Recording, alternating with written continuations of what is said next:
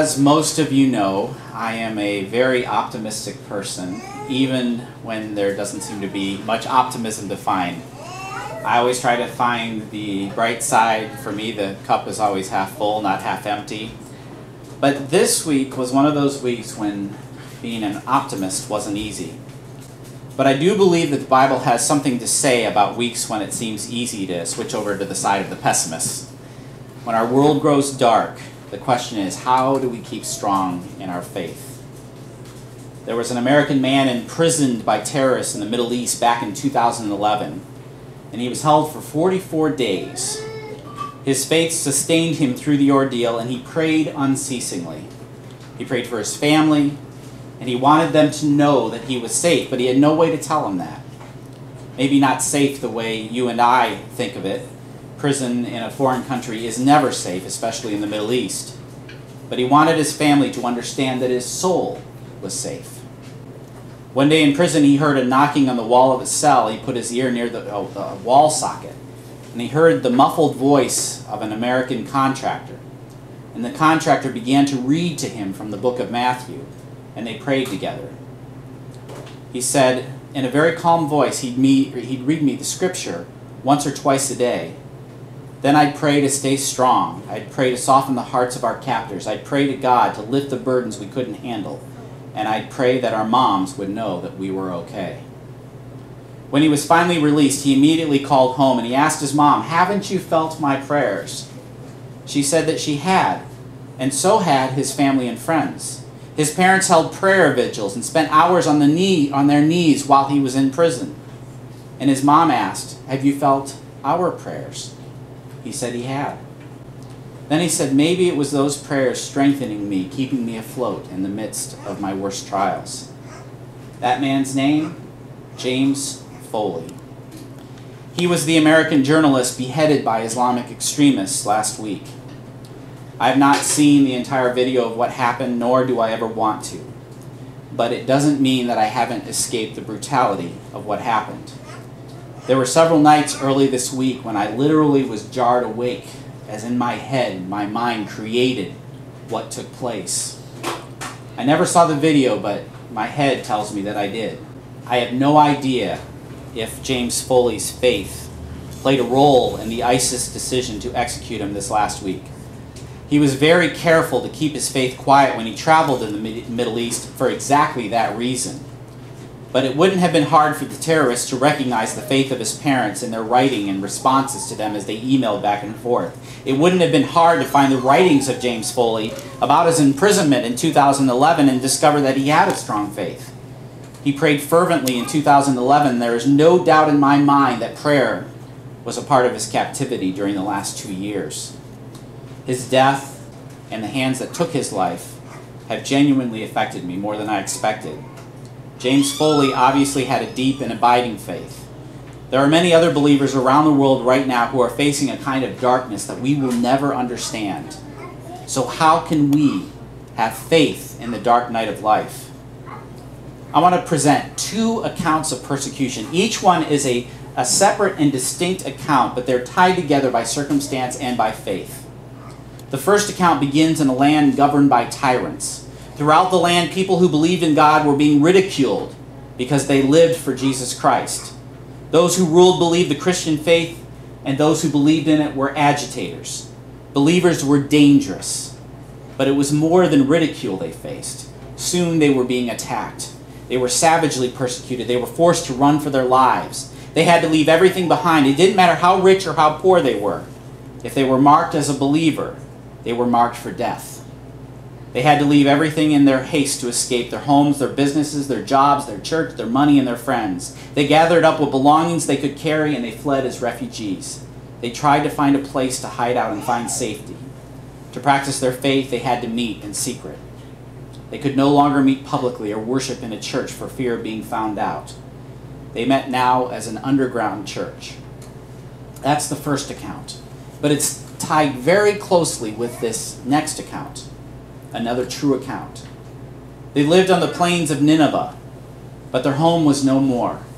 They had been persecuted for decades, but something had changed. To be a believer was a dangerous choice. Before they escaped, they saw believers killed just because they believed in Jesus Christ. They hoped they would be rescued. They cowered in their homes for as long as they could, but knew they had to leave. They gathered some clothes and left in the dark of night. They traveled as far as they could, and everywhere they went, they saw believers. In every garden, along dusty paths hidden in the brush, many were wandering in a daze. There were so many who now had nothing and nowhere to go. They left Nineveh and found themselves with thousands of other believers, a people without a home. And now they were packed together as refugees. Worship was next to impossible. They knew the safest thing they could do was to meet in secret in what they called an underground church two accounts, two true stories, but they're more than 2,000 years apart. One account is from last month, and actually in the last few days. The other is from the time of the Roman Empire. So, which do you think is which? Was the first story from the Roman Empire, or was the second story from the Roman Empire? The account of what happened in Nineveh is actually what happened in this last month. There are many historic biblical sites in what we now call Iraq. The Garden of Eden was in Iraq. Noah built the ark in Iraq. The Tower of Babel was in Iraq. Abraham was from Ur, which is in southern Iraq. Babylon, which is in Iraq, destroyed Jerusalem. Daniel was in the lion's den in Iraq. Ezekiel preached in Iraq. The wise men from the Nativity story were from Iraq. And the Apostle Peter preached in what we now call Iraq. And that brings us to over 2,000 years ago. The first account was in the world of the Apostle Peter, who preached in Iraq. He's the one that's famous for the account of Jesus walking on the water. Jesus asked Peter to step out of the boat. At first, Peter stood on the water, but he soon began to sink when he took his eyes off of Jesus. You of little faith, Jesus said, why did you doubt? And then it was Peter who denied Christ three times, just as Christ had predicted. The image of Peter as a coward and as one of little faith didn't last very long. After Pentecost, Peter boldly proclaimed the gospel, unafraid of arrest and persecution. But this was a time of danger. The Roman Empire was worried about this new religion that had begun to spring up everywhere. Certain emperors began a crackdown, and soon Christians were fleeing for their lives. And that's not much different than the account from Nineveh just last month. ISIS, the Islamic State in Syria, also called ISIL, has become a part of our vocabulary due to their barbarism against anyone who doesn't believe the way they do. But it appears they take special joy in killing Christians. In the land of the Bible, they're crucifying Christians. In the land of the Bible, where our history is rooted, believers are being uprooted and being murdered. There is no other way to describe it but genocide. The two accounts walk hand in hand when it comes to the fear, the insecurity, and the uncertainty of daily living. These believers we learn about in the New Testament and these people of Iraq are bound together because they were both hunted down for slaughter. Amazingly enough, those in Iraq today are doing the same as Peter. They refuse to back down from their faith when the easiest thing to do is to say, No, I'm not a Christian. I don't believe that. Fox News reported on a family that refused to convert to Islam even under the threat of death. A believer was quoted as saying, People say it would be easy to become a Muslim, but my faith is everything that I have. Why would I give that up? I would die first. Despite what it may sound like, there's actual hope in that statement. There's hope in a living God. They believe so strongly in God, they are not going to give up what they believe. My faith is everything I have. Why would I give that up? This is the hope that Peter speaks to as he addresses those who are in the same position as the believers in Iraq today. It gives a description of what's happening. Peter, an apostle of Jesus Christ, to God's elect, exiles, scattered throughout the provinces of Pontus, Galatia, Cappadocia, Asia, and Bithynia. He's writing to these people that have been spread far and wide. They've been chosen according to the foreknowledge of God the Father through the sanctifying work of the Spirit to be obedient to Jesus Christ and sprinkled with his blood. Grace and peace be yours in abundance. Of course, receiving that letter, they're probably thinking, well, we're not feeling much peace right now. I read this and I thought, well, there's a reason that I've been reading 1st and 2nd Peter this week. The timing of what's happening in our world and reading through the New Testament have again brought my attention to the fact that with God, nothing is by accident. Peter wrote this letter and it was carried to those in the different locations mentioned. Scholars believe that listing of those different towns was actually the order that the uh, messenger was taking from town to town as he brought this letter to these people who had been scattered everywhere because they believed in Jesus Christ. In every case, these people suffered from anxiety, stress, and a constant worry that the slightest sound might be somebody coming to kill them. The people of God needed encouragement. They needed to know how to cope in the midst of immense suffering. They needed to know how to have faith in the dark. And today is no different. I can imagine some of them wondering how they could be secure when everything seemed so insecure. And Peter has an answer. You can keep faith in the dark when you have a living hope. Praise be to God and Father of our Lord Jesus Christ. In his great mercy, he has given us new birth into a living hope through the resurrection of Jesus Christ from the dead and into an inheritance that can never perish, spoil, or fade. This inheritance is kept in heaven for you who through faith are shielded by God's power until the coming of salvation that is ready to be revealed in the last time. New birth into a living hope, it says. New birth into a living hope. I love this passage because it describes God as, as not being off somewhere in outer space somewhere, but right here living with us. God cares about us. He cares about our welfare. He cares about what happens. When we ask Jesus into our hearts as our personal Lord and Savior, everything changes. From that point forward, we have a living hope that comes from the knowledge that we have, that we know that no matter what, we have eternal life in God. The knowledge of eternal life brings us comfort in the midst of trials. It's our living hope, it is our trust, it is our promise. Sometimes I think there's a misunderstanding about our lives when we first accept Christ in our hearts. I remember when I first came to God and came to understand what it meant to have Jesus in my heart and what salvation meant to me. And I started counting all the prizes that I got because I accepted Christ in my heart.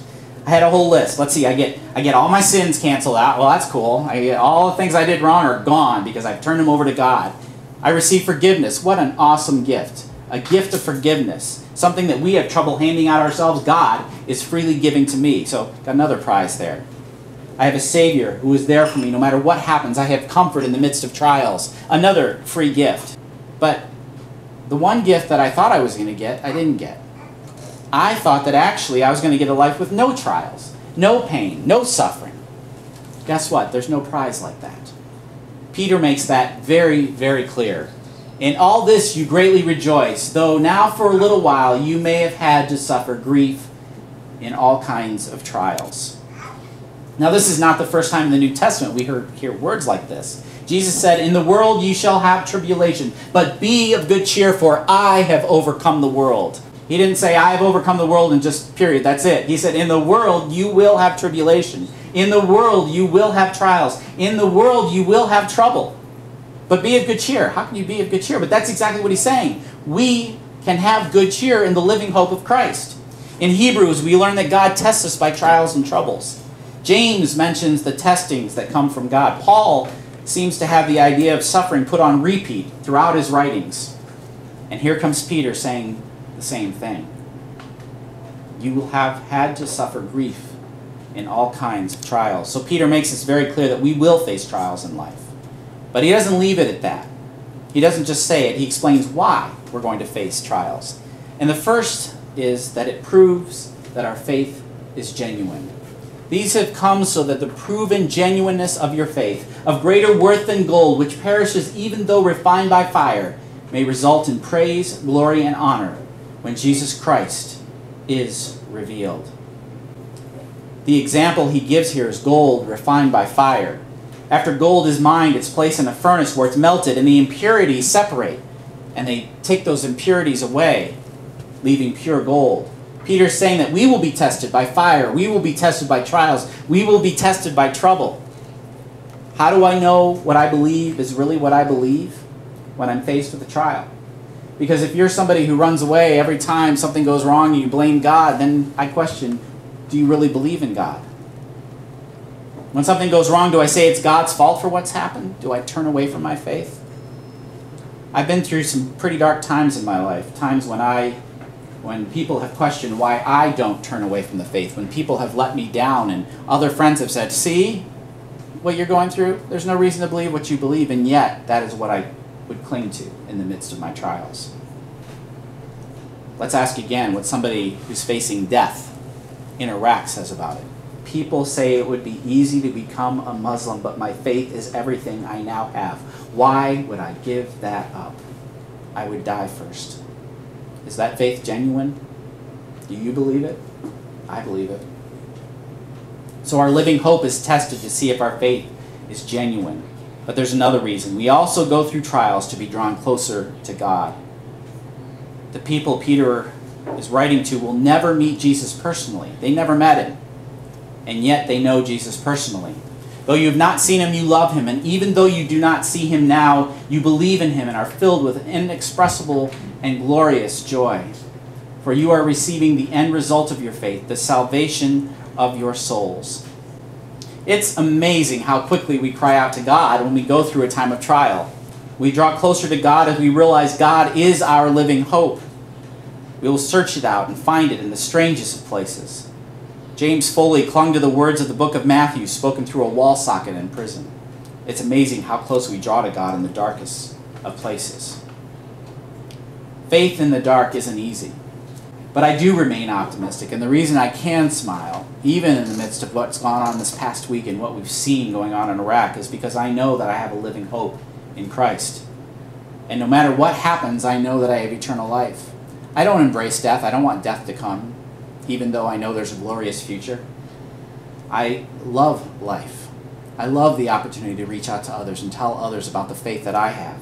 Faith in the dark isn't easy, though, and don't get me wrong, I'm still an optimist. And the reason I am an optimist is the an old hymn that we used to sing growing up in a Southern Baptist church. I know whom I have believed, and am persuaded that he is able to keep that which I've committed unto him against that day. God has made a promise to me that no matter what happens, no matter where I go, no matter what I do, He is there with me. At some point, we all are going to have to make a decision. Do we really believe what we say we believe? Do we really believe in God? And if we do, we can have faith in the dark. In the darkest of times, we can know that God is there for us.